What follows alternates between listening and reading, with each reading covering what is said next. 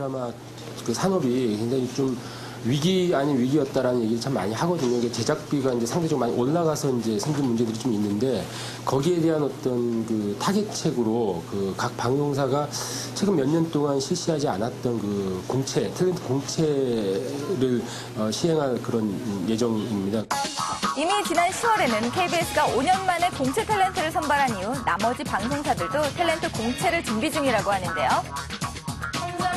그래서 위축된 드라마 시장 속에서도 방송사들은 연기자의 인적 자원의 확보와 제작비 절감 효과를 기대할 수 있습니다. 그런데 인재들만 있으면 뭐하나요? 드라마가 있어야죠. 2009년 준비 중인 드라마는 제가 알려드리겠습니다. 올 드라마에는 여주인공의 활약이 기대되는 사극이 몰려오고 있는데요. 최시라 주연의 천추태호는 오늘 첫 방송을 하네요. 전설의 고향을 통해 연기력을 인정받은 박민영 그리고 이효원이 주인공으로 열연을 펼칠 사극도 타 방송사에서 만날 수 있습니다. 그동안 사극이 남성의 전유물이었다면 올해는 여성 시청자들의 큰 관심이 예상되는데요. 그리고 내일 모레부터죠. KBS에서 방송되는 드라마 꽃보다 남자를 비롯해 외인구단 돌아온 일침의 등처럼 만화 원작을 바탕으로 한 드라마가 하나의 트렌드가 될 것 같습니다.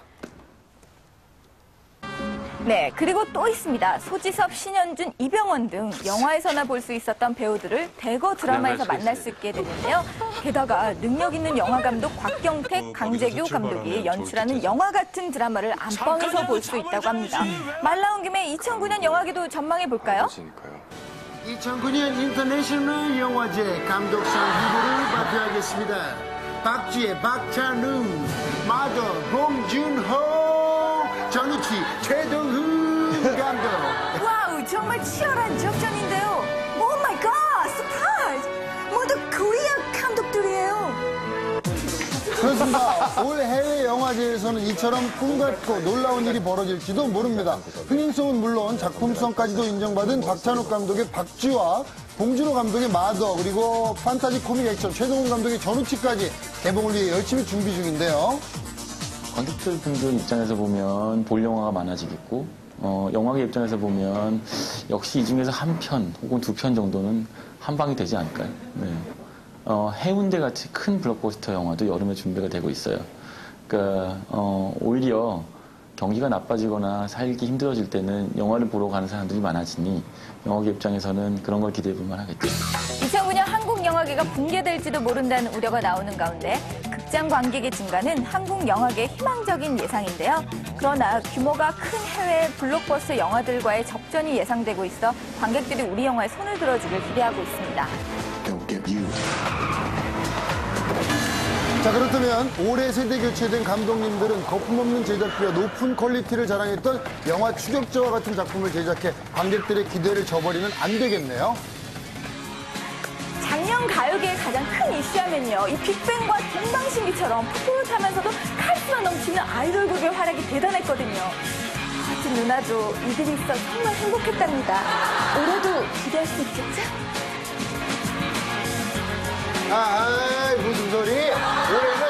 이 오빠들이 행복할 차례라고요. 상큼 발랄한 소녀들, 소녀시대가 컴백을 앞두고 있거든요.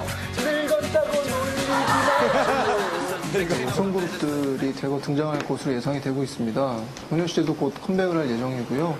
어, 애프터스쿨이라는 그룹이나 또 어, 일명 그 여자 빅뱅으로 불리는 그룹들을 비롯해서 어, 많은 여성 그룹들이 어, 가요계에 많이 등장할 것 같습니다.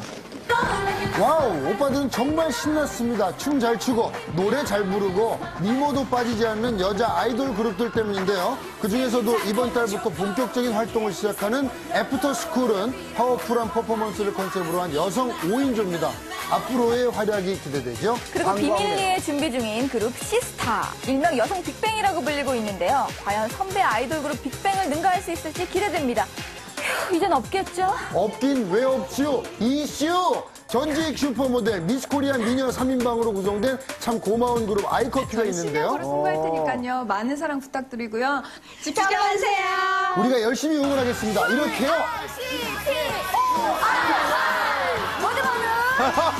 여기 있어요. 위험해요. 형수나. 어, 웨이트나. 올해는 응원할 가수 앞을 못 쳐다보네요. 어머어머, 나 몰랐는데 누구야? 알려줘, 알려줘. 한국 가요의 세계 진출의 원년이 아닐까 생각이 들 정도로 많은 가수들이 이제 어, 해외 진출, 해외 활동을 준비하고 있는데요. 어, 비와 그리고 고아 같은 경우 이제 미국 데뷔를 앞두고 있고요.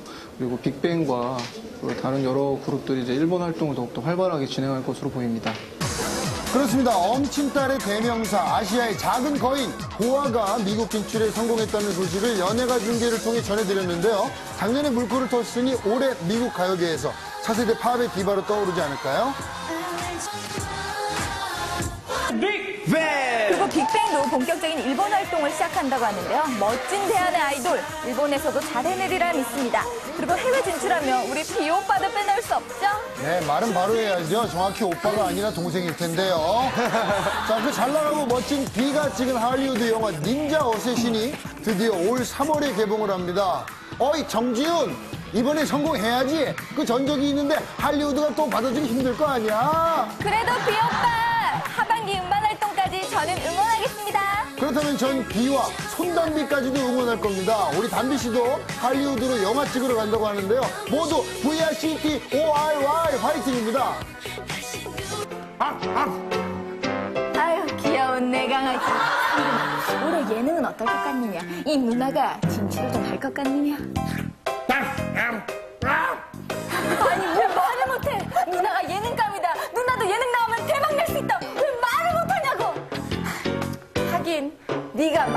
하면 그게 더 대박감이지. 아이고, 솔직히 말이야 바로 말이지. 그 쉽게 되겠어요? 이 사람들이 있는데, 어? 예능계의 양대 산맥 강호동과 이재석 씨는 2008년 예능계를 이끈 독보적인 존재라고 해도 과언이 아닐 만큼 아주 큰 활약을 보여줬는데요. 이 영광을 같이 한다고 생각하겠습니다. 강호동 씨는 온몸을 던지며 통큰 카리스마로 시청자들에게 웃음을 줬고요.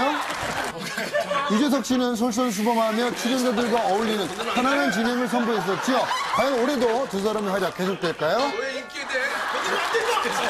네, 뭐 강호동 씨, 유재석 씨 같은 경우는 뭐 모든 예능 PD들이 생각하는 확실한 흥행 보증 수표라 할 만큼 정말 어, 뛰어난 역량을 가지신 분들이고 뭐 이런 어떤 그 힘은 어, 뭐 제 생각에는 그 생각보다 상당히 오래 가지 않을까 뭐라는 생각을 해봅니다.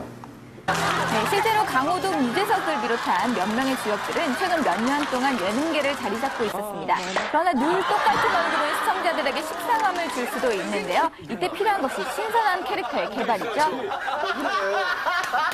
어, 뭐 저희는 아직까지 어떤 그런 그 인위적인 멤버 교체는 생각을 뭐 한 적은 사실 없고 뭐 혹시 누가 뭐 쓰러져 나가거나 어, 아니면 스스로 손을 들고 나가거나 하면 뭐 그때 고려를 해봐야겠죠. 당분간 큰 세대 교체는 없을지 있을지 모르지만 언제나 신선한 캐릭터를 필요로 하는 예능계 리얼 버라이어티가 유행을 하며 그 속에서 이미 성공한 가수들의 예능화를 살펴봤을 때 올해는 더 많은 가수들의 예능 진출이 치열하게 이루어질 것 같은데요. 예능으로 얼굴과 인지도를 높인 후 가수 활동을 병행하는 것은 음반 판매율과 광고 등에 영향을 미치며 인기를 얻을 수 있기 때문입니다.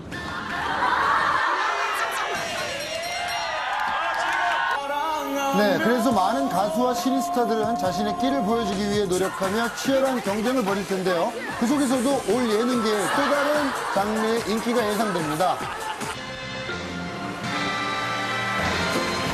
네, 바로 토크쇼인데요. 지난 14일 첫 방송한 박준우 쇼는 정통 토크쇼의 부활이라는 평가를 받으며 화제가 됐습니다. 또한 고현정 씨 등 여러 스타들이 본인의 이름을 내건 토크쇼